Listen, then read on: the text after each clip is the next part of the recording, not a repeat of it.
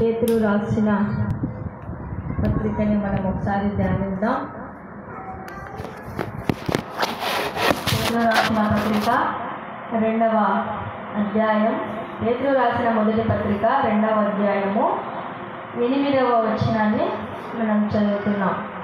కట్టువారు వాక్యమున కవిదేవులై రొట్టులుచున్నారు దానికే వారు నియమింప నియమించబడి. అయితే మీరు చీకటిలో నుండి ఆశ్చర్యకరమైన తన వెలుగులోనికి మిమ్మల్ని పిలిచిన వారి గుణాతిశయములను ప్రచురము చేయు నిమిత్తము ఏర్పరచబడిన వంశమును రాజులైన యాజక సమూహమును పరిశుద్ధ జనమును దేవుని సొత్తైన ప్రజలునై ఉన్నారు. దేవుడు శ్రేష్టంగా పేతుల ద్వారా సెలవిస్తున్నటువంటి మాట. మీరు చీకటిలో నుండి మనం ఎక్కడి నుంచి వచ్చామంటే పూర్వము మీరు చీకటే ఉన్నారు. మిమ్మల్ని నేను పిలిచాను. ఎక్కడి నుండి చీకటిలో నుండి నేను పిలిచిన ఎక్కడికి పిలిచానంటే ఆశ్చర్యకరమైన ఆయన వెలుగులోని. అందుకే యోహాను సువార్తలో ఒక శ్రేష్టమైన సందేశం ఉంది అక్కడ. ఏమిటంటే యోహాను సువార్త రాసినటువంటి సువార్తలో యోహాను రాసినటువంటి సువార్తలో ఒకటి మనం చూస్తే అక్కడ మొదటగా మనం ఒకటి నుంచి ఎనిమిది ఒక ఒకటవ అధ్యాయాన్ని మనం తీస్తే అక్కడ మనం చూస్తున్నటువంటి శ్రేష్టమైన మాట ఆ వెలుగు చీకటిలో ఐదులో ఆ వెలుగు చీకటిలో ప్రకాశించుచున్నది కానీ చీకటి దాన్ని గ్రహింపకుంది. వెలుగుంది చీకటి ఉంది. కానీ వెలుగు ఎక్కడుందంటే చీకటిలో ప్రకాశించుచున్నది కానీ చీకటి దాన్ని గ్రహింపకుండా ఇప్పుడు కూడా చాలామంది ప్రజలు ఇంత చీకటిలోనే జీవిస్తూ ఉన్నారు. వెలుగు వచ్చింది చాలా కాలం క్రితమే వెలుగు వచ్చింది సత్యసువార్త చేతిలోనికి వచ్చింది. సత్యసువార్త వినపడుతుంది టీవీల ద్వారా యూట్యూబ్ల ద్వారా ప్రతినిత్యము ట్వంటీ ఫోర్ అవర్స్ వాక్యం వినబడుతున్నా కూడా ఇంకా వెలుగులో చీకటిలో వెలుగుని ఇంకా గ్రహించకుండగా చాలా మంది చీకటి జీవితంలోనే జీవిస్తూ ఉన్నారు. అందుకే వాక్యం సెలవిస్తుంది. చీకటి దానిని గ్రహింపకుండాను. అని చెప్తూ ఎనిమిదిలో ఇంకొక మాట అంటాడు. అతడు ఆ వెలుగై ఉండలేదు కానీ ఆ వెలుగును గురించి సాక్ష్యం ఇచ్చుటకు అతను వచ్చినని చెప్తూ నిజమైన వెలుగుండెను అది లోకంలోనికి వచ్చును ప్రతి మనిషిని వెలిగించుచున్నది. ప్రతి మనిషిని వెలిగించడానికే ఆయన లోకంలోనికి దిగి వచ్చాడు. అందుకే నిజమైన వెలుగు నిజమైన ద్రాక్ష వల్లే యోహాన్ స్వార్థ మనం పద అధ్యాయంలో కూడా మనం చూసాం. నిజమైన వెలుగు అంట అంటే ఎవరో ఇస్తే వచ్చేది కాదు ఇది వెలుగు ఎవరో వెలిగిస్తే కాదు కానీ అదే నిజమైన వెలుగు. నిజమైన వెలుగు ఉండేను అది లోకంలోనికి వచ్చుచు ప్రతి మనిషిని వెలిగించుచున్నది. ఆయన లోకంలో ఉండెను లోకం ఆయన మూలముగా కలిగెను కానీ లోకం ఆయనను తెలుసుకొనలేదు చెప్తూ మళ్ళీ ఆయన సంత శ్రేష్టమైన సందేశం ఒకటి తను ఎందరు అంగీకరించిన వారికి అందరికనగా తన నామమునందు విశ్వాసం ఉంచు వారికి దేవుని పిల్లలకు పిల్లలగుటకు ఆయన అధికారమును ఇచ్చాడు. పూర్వం మనం ఏమై ఉన్నామంటే చీకటి. ఆ చీకటిలోనికి ఏమొచ్చిందంటే వెలుగు. ఆ వెలుగు ఏమైందంటే నిజమైన వెలుగు. అది ప్రతి ఒక్కరిని వెలిగించడానికే ఈ లోకంలోనికి దిగి వచ్చి ఉన్నదని మనం శ్రేష్టంగా సెలవించబడింది ఇంకొక మాట యోహాను సువార్తలో పంతొమ్మిది అక్కడే మనం చూసినట్టు మూడవ అధ్యాయం పంతొమ్మిదిలో ఆ తీర్పు ఇదే వెలుగు లోకంలోనికి వచ్చెను. కానీ తమ క్రియలు చెడ్డవైనందున మనుషులు వెలుగును ప్రేమింపక చీకటినే ప్రేమించి ఈ దినమున యేసుక్రీస్తు వెలుగు ఆయన దేదీపమానము జ్యోతిర్మయుడు ఉన్న ఆయన వెలుగులో రావాలి ఎందుకంటే తమ క్రియలు చెడ్డవైనందున.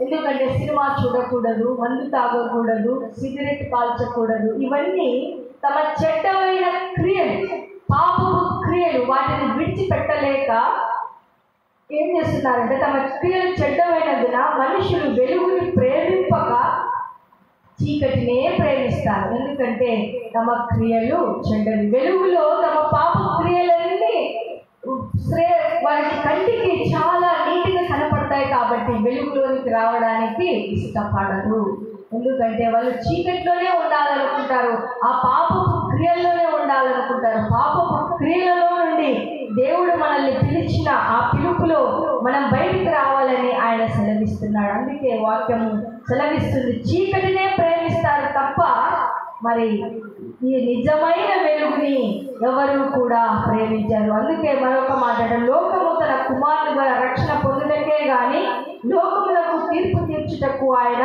రాలేదు. మరి మరింత బయట గ్రంథంలో చాలా లూకాసు వార్తలు కూడా ఒక మనం చూస్తే లూకాసు వార్త ఒకటవ అధ్యాయం. ఒకటవ అధ్యాయం మనం చూస్తే డెబ్బై తొమ్మిదవ మాటలో మనం చూస్తే చీకటిలోను యేసుక్రీస్తు ప్రభు ఈ లోకంలో కుమారునిగా జన్మించినప్పుడు అంతకు ముందే ప్రవచనాత్మకమైన ప్రవచనాలు సెలవిస్తున్న మాట ఏమిటంటే చీకటిలోను మరణ ఛాయలోను కూర్చుండు వారికి వెలిగించుటకై ఆ మహావాత్సల్యమును బట్టి పైనుండి ఆయన మనకు అరుణోదయ దర్శనముగా అనుగ్రహించింది ఎక్కడున్న వారిని ఆయన పిలుస్తున్నాడంటే ఒకటి డెబ్బై తొమ్మిది. చీకటిలో ఉన్న మనల్ని మరణ ఛాయలో ఉన్న మనల్ని కూర్చున్న వారికి వెలుగించుటకై ఆయన మహావాత్సల్యమును బట్టి పై నుండి ఆయన మన కొరకై అరుణోదయ దర్శనముగా దిగి వచ్చి ఉన్నాడు. కనుక మన జీవితాలలో మనం తెలుసుకోవాల్సింది ఏంటంటే మనము ఒకప్పుడు చీకటి కానీ ఆ చీకటిలో నుండి ఆయన మనల్ని ఆయన గుణాతిశయములను ఇక్కడ శ్రేష్టమైన మాట పేతులు రాసిన పత్రికలో మనం చూస్తున్నాం కదా. ఇక్కడ ఆయన మనమందరం చీకటై ఉన్నాం. ఆ చీకటిలో ఉన్న వాళ్ళు ఎక్కడ పిలిచాడు తెలుసా? ఆశ్చర్యకరమైన తన వెలుగులోనికి మనం పిలిచిన ఆ పిలుపులు ఏమైనా ఉండాలి అంటే గుణా ఆయన గుణాతిశయములను ప్రచురం చేయ నిమిత్తము మనం ఏమై ఉన్నామంటే ఏర్పరచబడిన వంశము. రెండవది రాజులైన రాజక సమూహము. మూడవది పరిశుద్ధ జనమును నాలుగవది దేవుని సొత్తైన ప్రజలునై ఉన్నాడు. చూడండి మనల్ని ఎందుకు పిలిచాడు అంటే ఆయన చీకటిలో మీరు ఉన్నారు కానీ ఎక్కడికి పిలిచారు? ఆశ్చర్యకరమైన తన వెలుగులో ఒక ఆశ్చర్యకరుడు ఆయనే మన ప్రభు అయిన యేసుక్రీస్తు. ఆయన వెలుగులోనికి మనల్ని పిలిచిన ఏముండాలి?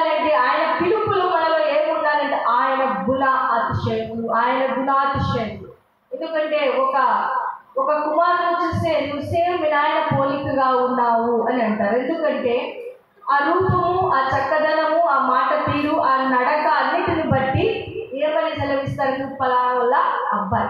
మరి యేసుక్రీస్తు సెలవిస్తున్నది కూడా అదే. మీరు చీకట్లో ఉన్నారు. అయినా నేను ఆశ్చర్యకరమైన వెలుగులో నేను పిలిచిన నా గుణాతిశయములను ప్రచురం మీరు ఏమై ఉన్నారంటే ఏర్పరచబడిన వంశమును ఏర్ మనల్ని పిలిచాడు.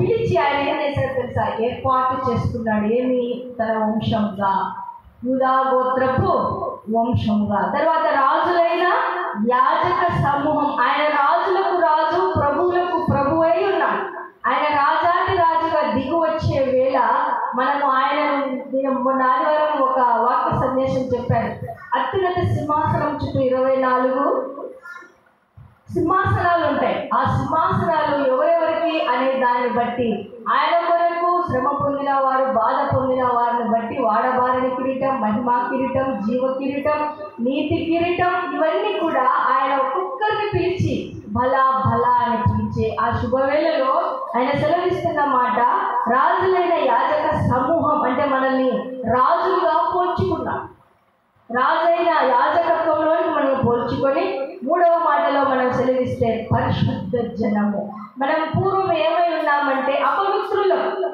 దేవుని సన్నిధికి రాలేని పరిస్థితి చీకటి మనల్ని ఆవరించింది. ఆ చీకటిలో నుండి మనల్ని పిలిచిన ఆ పిలుపులో మనం ఏమై ఉన్నామంటే ఆయన పరిశుద్ధుడు కనుక ఆయన తన రక్తం చేత మనల్ని కడిగి పవిత్ర పరిచి పరిశుద్ధ జనముగా చేసుకొని ఆయన ఆరాధించే అర్హత యోగ్యత ధన్యత మనకిచ్చాడు. అందును బట్టి మనం ఏమై ఉన్నామంటే పరిశుద్ధ జనమును తర్వాత నాలుగవ మాట దేవుని సొత్తైన ప్రజలునై ఉన్నాము. దేవుని సొత్తుగా ఆయన ఎంతగా మనల్ని ఎంతగా ప్రేమిస్తున్నాడో మనం దేవుని వాక్యాన్ని మనం చదువుతున్నప్పుడు మనల్ని ఇంతగా ప్రేమించే వ్యక్తి ఎవరు కూడా భూమి మీద ఉండరు. ఎందుకంటే ఇంతగా తన యొక్క వంశమును ఆయన వంశాన్ని మనకిచ్చాడు ఆయన రాజ్యాన్ని మనకిస్తున్నాడు ఆయన పరిశుద్ధతను మనకిచ్చాడు. నాలుగవది చూస్తే మీరే నా సొత్తు మొదటి కొరింథీలలో మనం సెలవిస్తున్న మాట వాక్యం అపోస్తులైన పౌలు సెలవిస్తున్న మాట ఏంటో తెలుసా? మీరు విలువ పెట్టి కొనబడిన వారు కనుక మీరు నా సొత్తు మీ దేహాలతో నన్ను మహిమపరచు చూడండి రాజులైన దేవుని సొత్తైన ప్రజలై ఉన్నామంట మనం ఆయన పిలుపులో ఇంతటి యోగ్యత ధన్యత దేవుడు మనకిచ్చాడు. దీనిని బట్టి మనం చాలా ఆశ్రయించాలి. ఈ లోకంలో ఎన్ని ఉన్నా ఇలాంటి పిలుపులు ఇలాంటి ప్రేమ ఎవరు కూడా ఇంతటి అర్హత ఏ ఏ- వ్యక్తి కూడా ఇవ్వలేరు ఒకవేళ ఇస్తే ఒక ఇంటికి కోడలుగా వెళ్ళినా ఒక ఇంటికి కూతురు అయితే కూతురు అయితే కొంచెం కట్నం ఇచ్చి పంపించేస్తారు గోల్డ్ ఇచ్చి పంపించేస్తారు. అలాగే కోడలు అయితే ఒక ఇల్లు ఉంటుంది లేదా ఒక భర్తకు ఉన్న జాబును బట్టి ఆ ఆస్తి అలా వస్తుంది. కానీ ఇంతగా ఇంతగా దేవుని యొక్క ప్రేమలో ఆయన ఏమనంటే సెలవిచ్చాడంటే మనల్ని ఆయన వంశం వంశాన్ని ఇచ్చాడు తర్వాత రాజాతి రాజుగా పిలువబడే ఆ యొక్క రాజుల యొక్క యాజకత్వం ఇస్తున్నాడు. మూడవది ఆయన పరిశుద్ధుడు కనుక పరిశుద్ధ జనముగా మనల్ని చేశాడు. నాలుగవది ఆయన సొత్తు. మనం ఎవరము అంటే దేవుని సొత్తు ఉన్నాము. అందుకే మనము ఎవరి చేతిలో భద్రపరుచున్నామంటే అందుకే సాధారణ మనల్ని అంత ఈజీగా టచ్ చేయడు ఒకరిని టచ్ చేసినా ఆ శ్రమ ఆ శోధన తట్టుకుంటే ఇంకా ఎన్నడూ కూడా మన దగ్గరికి రాడు. పారిపోతాడని మనం యాకోబు రాసిన పత్రికలో ఒకసారి చూసాం కనుక ఇక్కడ వాక్య సందేశం మనం దేవుని సొత్తైన ప్రజలై ఉన్న ఒకప్పుడు ప్రజగా ఉండక ఇప్పుడు దేవుని ప్రజ అయిపోయింది ఒకప్పుడు కనికరింపబడక ఇప్పుడు కనికరింపబడిన వారు అయితే చూడండి ఒకప్పుడు మనము ఆయన ప్రజలకు కాము ఇప్పుడు ఏమై ఉన్నాం? దేవుని ప్రజలైన. ఒకప్పుడు మనకి మన మీద ఆయన కనికరం లేదు. ఎందుకంటే పూర్వం చీకటి. ఇప్పుడు మనం ఆయన ఆశ్చర్యకరమైన వెలుగులోకి వచ్చాము కాబట్టి ఆయన ఎందు మనము కనికరింపబడి ఉన్నాము అని చెప్తూ పదకొండు ప్రియులారా మీరు పరదేశులను యాత్రికులై ఉన్నారు. కనుక ఆత్మకు విరోధముగా పోరాడు శరీరాశలను విసర్జించి అన్ని జనులను మిమ్మల్ని ఏ విషయంలో దుర్మార్గులను దూషించురో ఆ విషయంలో వారు మీ సత్క్రియలను చూచి వాటిని బట్టి దర్శన దినమున దేవుని మహిమపరచునట్లు వారి మధ్యలో మంచి ప్రవర్తన గలవారై ఉండవాలని. మిమ్మను బతిమాలు ఏం చూస్తాడంట అంటే సత్క్రియలు సత్క్రియ ఎందుకు అంటే మీరు నా ప్రజలై ఉన్నారు నా సొత్తై ఉన్నారు నేను మీ మీద కనికరింపబడ్డాను నేను మీ- మీరు నా గుణాతిశయములు కలిగి ఉన్నారు కనుక మీరు మీరు తెలుసుకోవాల్సింది ఏమిటంటే పరదేశులు యాత్రికులై ఉన్నారు కనుక ఆత్మకు విరోధముగా మీరు మాటలాడకూడదు పోరాడ పోరాడకూడదు. ఎందుకంటే శరీర ఆశలన్నిటిని మనం విసర్జించండి.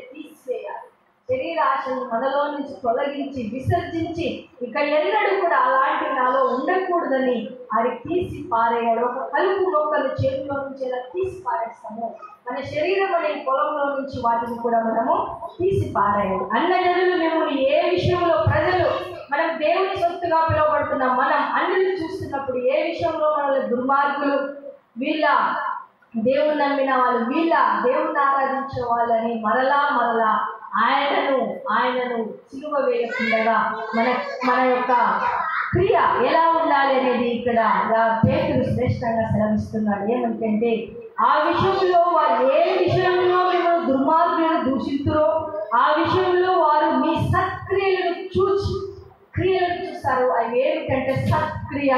యేసుక్రీస్తు సత్యవంతుడు కనుక నీ యొక్క క్రియలు ఎలా ఉండాలంటే సత్యముతో కూడినదై ఉండాలి. వాటిని బట్టి దర్శన దినమున దేవుని మహిమపరచినట్లు వారి మధ్యన దేవుని మహిమపరచాలి అంటే వారి మధ్యన మన యొక్క క్రియ ఎలా ఉండాలంటే సత్క్రియ. క్రీస్తుతో కలిగిన క్రియ. క్రీస్తుతో నడిచే క్రియ అయి ఉండాలి.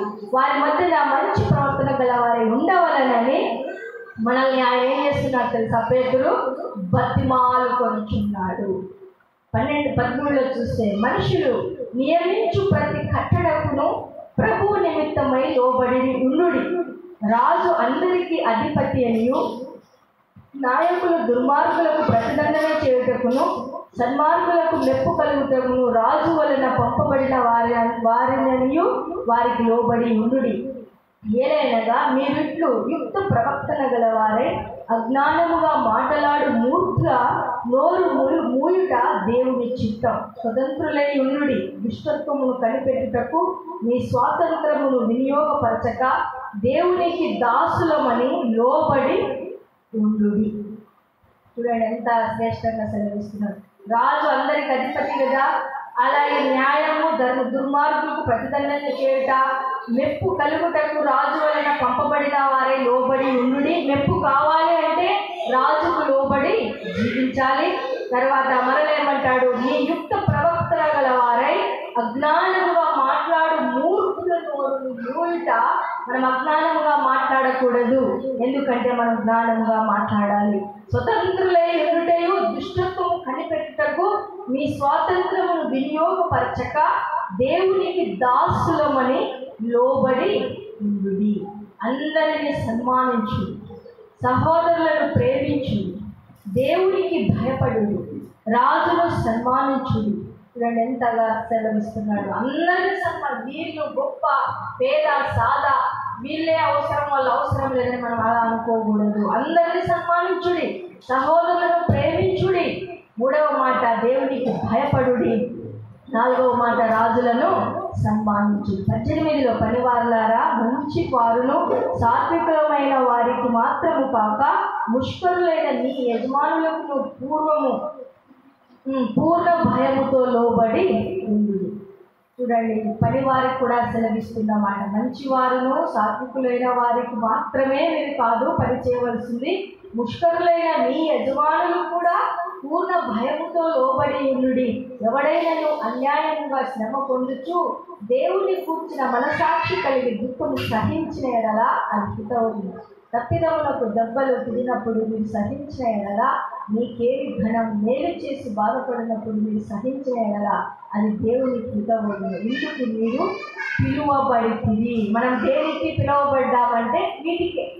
తప్పిదము దెబ్బ దెబ్బలు తిన్నప్పుడు మీరు సహిస్తే మీకేమి ఘన మేలు చేసి బాధలు బాధపడినప్పుడు మీరు సహించిన ఎడల అది దేవుని హితవగును ఇందుకు మీరు పిలువబడుతున్న చెప్తూ ఇదవైపు క్రీస్తు కూడా మీ కొరకు బాధపడి మీరు తమ అడుగు జాడలందు నడుచుకున్నట్లు మీకు మాదిరి ఉంచిపోయాడు?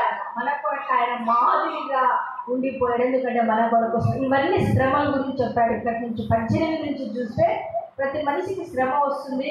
పూర్ణ భయంతో లోబడి ఉండుడి. ఎవరికి అన్యాయంగా శ్రమ తీసుకోవద్దు. వారి మనస్సాక్షి దేవుని గురించిన మనస్సాక్షి కలిగి దుఃఖము సహించితే నువ్వు హితం అవుతావు నువ్వు నొప్పు పొందుతావు నువ్వు బాధపడినప్పుడు దేవుడు నిన్ను చూస్తాడు అనేసి సెలవిస్తూ ఇరవై ఒకటిలో క్రీస్తు కూడా మన కొరకు బాధపడలేదా? ఆయన అడుగుజాడలో మనం నడుచుకున్నాం నడుచుకొని మనకు ఆయన మాదిరిగా ఉంచిపోయాడు ఆయన పాపం చేయలేదు. ఆయన నోటిని ఏ కపటము కనబడలేదు. ఆయన దూషింపబడి బదులు దూషింపలేదు. ఆయన శ్రమ పెట్టబడి బెదిరింపక న్యాయముగా తీర్పు తీర్చి దేవునికి తన్ను తాను అప్పగించుకొని ఆయన దూషించబడినను బదులు దూషించను అంటే ఇదంతా దేవుడు ఎలా మాదిరిగా చూపించాడో మనల్ని దూషించిన మనల్ని వారిని కూడా బదులు పలకకుండా ఉండండి అని వాక్యం శ్రేష్టంగా సెలవిస్తుంది. తీర్పు దేవునికి చూడండి శ్రమ పెట్టబడి బెదిరింపక న్యాయముగా తీర్పు తీర్చి దేవునికి తన్ను తాను అప్పగించుకునేను అందుకు మనము పాపముల విషయం చనిపోయి నీతి విషయమై జీవించినట్లు ఆయన తానే తన శరీరమందు మన పాపములను రాను మీద మోసుకొని. ఆయన పొందిన గాయముల చేత మీరు స్వస్థత నొందితి మీరు గొర్రెల వల్ల దారి తప్పిపోతుంది కానీ ఇప్పుడు మీ ఆత్మల కాపరియు అధ్యక్షుడనైన ఆయన వైపునకు మళ్ళీ ఉన్నారు దేవుడు మనకు మాదిరిగా ఉంటాడు శ్రమ వచ్చినా నిన్ను దూషిస్తున్నా బదులు పలకలేని ఆయన ప్రేమ. తీర్పు తీర్చేటప్పుడు కూడా నువ్వు నిజలు ఈ తీర్పుకు అర్హుడవు కాదు. ఎందుకంటే అన్యాయపు తీర్పు తీర్చారు ఆయనకు. అయినా కూడా న్యాయముగా తీర్పు తీర్చి దేవుని వైపు చూశాడు. అన్యాయంగా తీర్పు తీర్చి పిలాతు వైపు దేవుడు చూడలేదు. ఎందుకంటే తన ఎదుట ఉంచబడిన ఆనందం ఉంది. సిలువను సహించి యేసుకు ఆయన కుడి పార్శ్వమందు ఆశీనుడవడానికి ఇవన్నిటిని ఆయన మరి పొందుకున్నారు? అందుకే మన గొర్రెల వలె ఆయన పొందిన దెబ్బల ద్వారా మనకు స్వస్థత. తర్వాత గొర్రెలవలే దారి తప్పిపోయిన మీ ఆత్మల కాపరి అయిన మన పరిశుద్ధ ఆత్మదేవుడు మనకు అధ్యక్షతనిచ్చి ఆయన వైపునకు మళ్ళుచున్నాడు. మనల్ని ఆయన వైపు మళ్ళుకోవడానికి ఎవరు కారణం అంటే యేసుక్రీస్తు వెళ్ళిపోతూ వెళ్ళిపోతూ నలభైవ దినమున ఆయన భూమి మీదికి తన ఆత్మను మన ద- మనము ఒంటరి వారిని కాకూడదని ఆయన తన ఆత్మను మన మధ్యకు వదిలేసి వెళ్ళిపోయాడు. ఆ పరిశుద్ధాత్మ దేవుడే మనల్ని ఈ రీతిగా ఆయన సన్నిధికి ఆయన సమీపానికి ఆయన ప్రార్థించాలని ఇవన్నీ కూడా ఆయన అధ్యక్షత వహిస్తూ మన మీద ఆయన సన్నిధిలోనికి మనం నడిపించి మన జీవితాలను సరిచేసుకోవడానికి మన బ్రతుకులను మార్చుకోవడానికి సత్యమైన మార్గంలో నడుచుకోవడానికి ఆయనే మన జీవితాల పైన అధ్యక్షత వహించిన పరిశుద్ధాత్మదేవుడు ఇందును బట్టే మనం ఆయన మనము మనల్ని ఆయన ఏం చేస్తున్నాడంటే రాజుల వంశమును రాజుల తర్వాత ఏమైందామంటే మనము ఏర్పరచబడిన వంశము రాజైన యాజకుల సమూహము పరిశుద్ధ జనములు దేవుని సొత్తైన ప్రజలైన ఉన్నాం పూర్వము చీకటి. కానీ ఇప్పుడు మనం వెలుగులో ఉన్నాం. వెలుగులో మనం నడుస్తున్నాం మనం సత్యమైన వెలుగులోనికి వచ్చాం. ఆ సత్యమైన వెలుగే మన ప్రభు అయిన యేసుక్రీస్తు. మన మీద అధ్యక్షత వహిస్తున్న వారు ఎవరూ కాదు ఆయన ఆత్మ పరిశుద్ధాత్మ. ఆయన మా యేసుక్రీస్తు వైపుకు అంటే తండ్రి అయిన దేవుని వైపు మనల్ని మళ్ళుస్తూ మీకు మాదిరిగా ఉన్న యేసుక్రీస్తుని చూడండి అని పదే పదే పదే పదే ఆయన పాద సన్నిధికి మనల్ని తీసుకొని వస్తుంది. ఎందుకంటే ఆయన శ్రమలు సహించలేదా? బాధలు పొందలేదా? అన్యాయపు తీర్పు పొందలేదా పిలాతుతో? కానీ దేవుని నీతిని పట్టి తీర్పు తీర్చుటకు దేవుని వైపు చూసి మరి అన్నిటికీ సహించిన వాడు కనుక మీరు కూడా నేను మీ మధ్య అధ్యక్షత వహిస్తున్నాను కనుక మీరు నా వైపుకు మళ్ళీ ఉన్నారు. ఈ పేతుడు చాలా శ్రేష్టంగా సంఘాలతో మాట్లాడుతూ ఈ రెండవ అధ్యాయంలో ఉన్న సందేశం చాలా శ్రేష్టంగా ఉంది. మన మన రేపటి దినమున దేవుని చిత్తమైతే మూడు మరి మూడవ అధ్యాయాన్ని ముగించి దేవుని సన్నిధిలో ఉన్నాం కనుక మనల్ని ఏదైనా మన మీద అధికారం చేస్తున్నారంటే పరిశుద్ధాత్మ దేవుడు తప్ప ఎవరికి అధికారం లేదు. కనుక ఈ సాయంకాల సమయంలో దేవుని సన్నిధిలో మనం చేరి ఉన్న మనం ఎంతో ధన్యులం. ఆయన సమీపానికి వచ్చి ప్రార్థన చేసి ముగించాలని ప్రభు నామంలో